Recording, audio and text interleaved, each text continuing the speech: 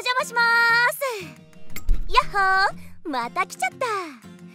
でもいいよね。だって君の彼女なんだから。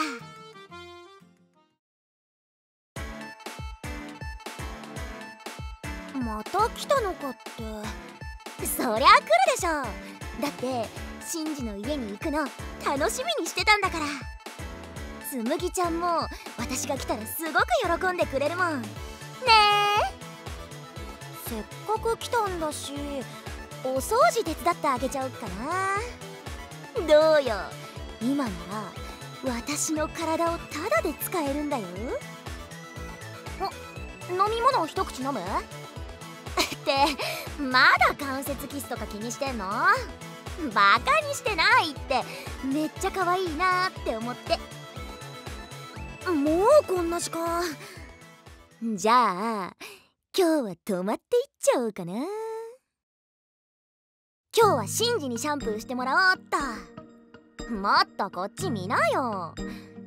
ひょっとして私の裸見たら照れちゃうとか？最近シンジが他のこと話してるとなんかモヤモヤするんだよね。まあ私なりのちょっとした独占欲っすよ。ねえ。もし寂しくなったら私のこと抱きしめてもいいよ。私シンジとくっついてる時が一番好き。もっとギュッてして。シンジといると安心する。本当に毎日が楽しいんだ。こんな日々が続いていったらいいな。ファンタジア文庫。クラスのギャルがなぜか俺の義妹と仲良くなった。ギャルなぜで検索。ね